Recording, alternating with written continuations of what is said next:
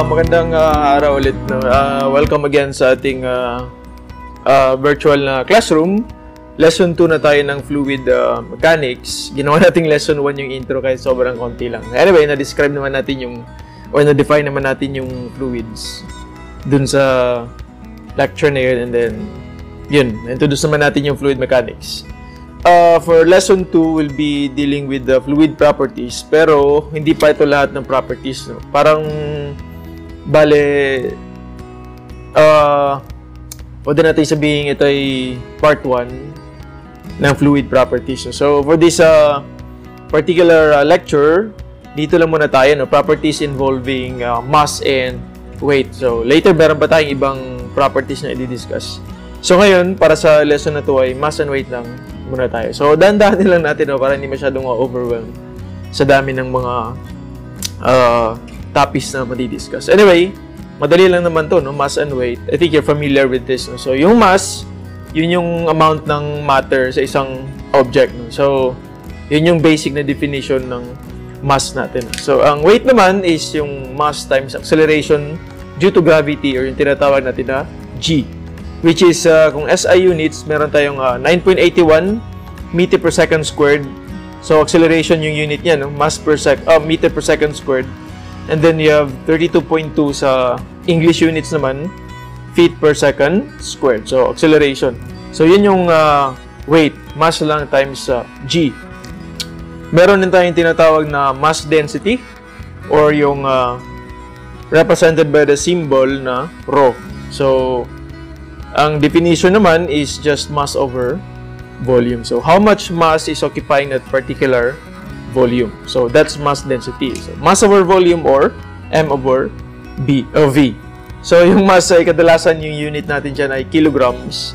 Ang volume naman ay pag, pag SI, ang kadalasan unit natin dyan ay uh, cubic meter or liters. So, kilogram per cubic meter yun yung madalas natin na unit density. Meron din tayong gram per uh, ml or gram per liter. So, maliit na mass, uh, usually, tandem niya yung maliit din na unit ng uh, volume.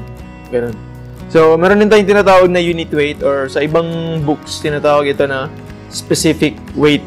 Okay? So, unit weight or specific weight, ang uh, symbol naman ay gamma. So, yun ay weight over volume lang. So, kung mass, kung density ay mass over volume, unit weight naman or specific weight ay weight over volume or W, W over V. Na ano tayo sa, uh, tsaka na. so, since ang rho ay mass over volume lang, and then ang weight is mass times G, pwede natin sabihin na ang unit weight equals rho times G. ba? Diba?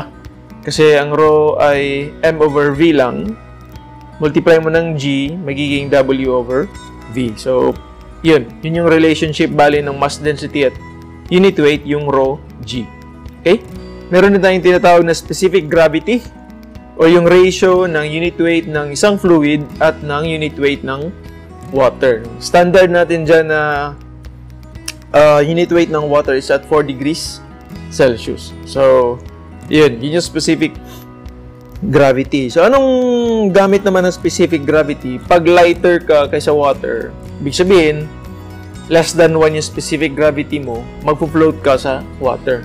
Pag greater than uh, uh, 1 naman yung value ng specific gravity mo, ibig sabihin, mas mabigat yung fluid mo kaysa water. Ibig sabihin, um, or hindi lang fluid, no? Ang uh, unit weight ng substance. So, kahit anong substance, kahit solid, wood, mga ganun. So, uh, since fluid mechanics yung inaano natin dito, uh, inaaral natin lahat ng fluids. Anyway, pwedeng in general pala to, unit weight ng kahit anong substance. So, pwedeng maging kahoy, steel, so lahat yan may specific gravity. And then, greater than 1 means mas mabigat yung substance mo, yung object mo, kaysa water. Less than 1 naman, lighter siya compared sa water. So, yun yung specific gravity.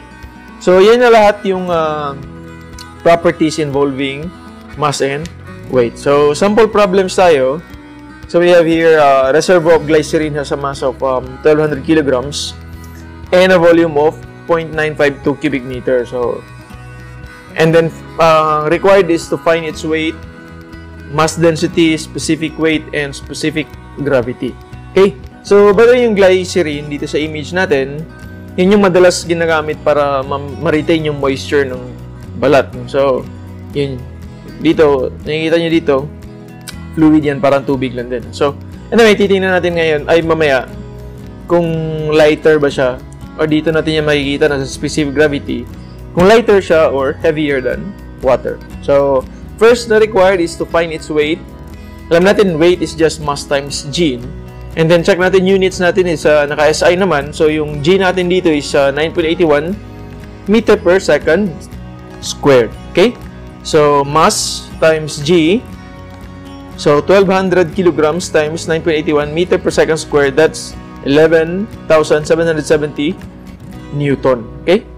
So, the kilogram times uh, meter per second squared is Newton. I think familiar na kayo dyan kasi dumaan naman kayo ng mga strength of materials and uh, statics. So, familiar na kayo dyan sa mga units.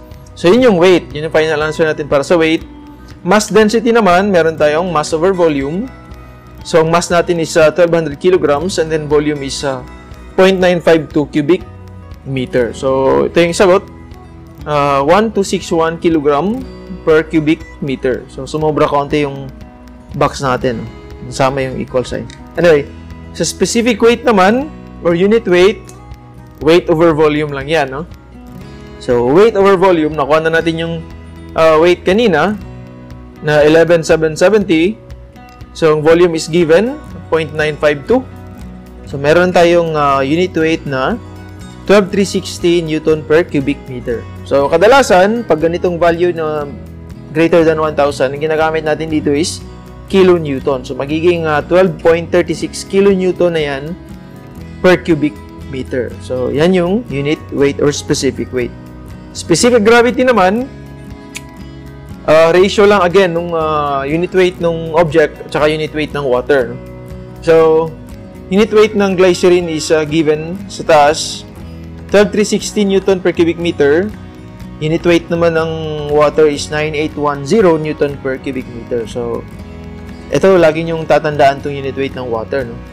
Minsan, mako-confuse pa kayo sa uh, acceleration due to gravity. Kasi ang acceleration due to gravity, constant yan lagi 9.81. Ito naman, itong unit weight of water, pwedeng maging 9.79 yan. Depende sa temperature.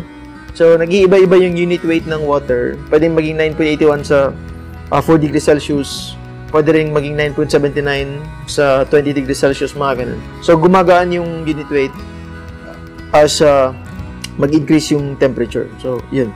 So, ang specific gravity natin is 1.26. Ibig sabihin, ibig sabihin ay mas heavier yung, or heavier yung glycerin compared sa water. So, pag ilalagay mo yan sa, or ipaghalo mo yung glycerin sa water, aangat yung water sa taas.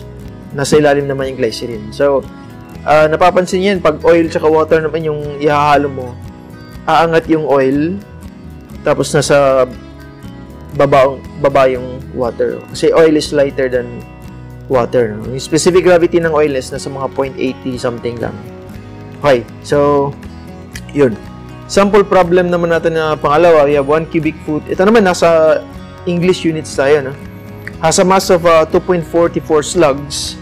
Find its uh, specific weight in both uh, pounds per cubic foot and kilonewtons per cubic meter. So, ito yung mass unit ng English uh, system, we have um, slugs. So, yun yung mass, 2.44 slugs.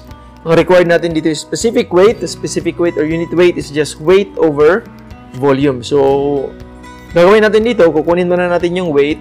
So, mass times G lang again. And then, uh, weight over volume na, uh, makuha na natin yung unit weight. So, given naman yung volume natin, no, 1 cubic foot ng glycerin pa rin. Yan. So, weight is just uh, mass times uh, acceleration due to gravity. So, mass times g. So, again, yung g natin pag English units is 32.2 uh, feet per second squared. Pag SI is 9.81, pag English 32.2. Huwag po natin yung kalimutan. No? Minsan, minsan na i-confuse yung mga estudyante kasi ang unit weight ng water pag English is uh, 62.4 uh, pounds per uh, cubic foot. Minsan, nagiging 64.2. So, yun. Dapat nyo lang kabisaduhin yan. And then, given yung volume. So, slugs times uh, feet per second squared is just pounds.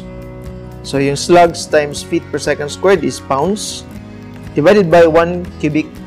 Dapat ito ay 1 cubic uh, foot. So, yan. Dapat, dapat hindi squared yan. Cubic foot dapat yan. Kasi ito, given naman dito na volume. So, take note na lang din sana. Uh, typo error lang yan. So, unit weight uh, in terms of um, cubic foot or pounds per cubic foot, ito na yun, no? Given. So, yun na yung unit weight. Uh, ngayon naman, i-convert nat na, convert natin sa kilonewtons per cubic meter. So, from English, wait, from English, uh, gagawin nating SI. So, yan, dahan-dahan na natin i-convert. First, convert natin yung pounds. So, uh, meron tayong 2.2 pounds sa isang kilogram. So, makakancel na yung pounds natin. Kilogram na yung matitira. So, i-multiply natin siya ngayon sa acceleration due to gravity na 9.81 meter per second squared. So, yung kilogram mo times meter per second squared magiging newton. So, eto na, eto na. Yung uh, quantities na ito, magiging newton na to. No? So, and then we have ang cubic feet, ko-convert natin to meters. So, 1 cubic foot or 1 foot is equal to 3.28 meters. Baliktad yata to, no? Uh, dapat dito ay uh, by natin, no? So, baliktad yan. Dapat ay uh, 3 3.28 feet. Ito naman ay 1 meter. So, mali lang ang pagkana niyan. Ito naman dapat ay cube. Okay? So, yan. Para makorek na natin. So, 9.81. Dito na tayo sa 3.28 feet. Meron kang 3.28 feet sa isang meter. Tapos, uh, cube mo na rin. No? Cube kasi naka-cube yung unit natin dito. So, makakancel na yung feet. Makakancel na yung feet dito. So, matitira na lang. Ito, meron kang newton. Tapos, meron kang cubic meter. So, yun. Ang answer dito is uh, 12,350 Newton per cubic meter. Again, uh, mas okay no kung i-convert natin to into kilonewtons. So, meron kang 12.35 kilonewtons per cubic meter. So, yan na yung uh, specific weight or unit weight in terms of SI units. No? Kilonewtons per cubic meter. So, again, yan na yan no? para sa properties natin involving uh, mass and weight. So, sana again may natutunan kayo at uh, don't forget to solve uh, more problems. So, hindi lang ito, no? Uh, try nyo rin mag-solve ng mga problem exercises pa, no? Para mas masanay kayo dun sa mga units, uh, unit conversion, mga constant values natin for G and unit weight ng water. So, mga ganun-ganun. Anyway, uh, yun, yun ulit. No? Salamat ulit sa pakikinig at uh, panonood. So, see you again sa next lesson natin, sa next uh, video upload natin. So, again,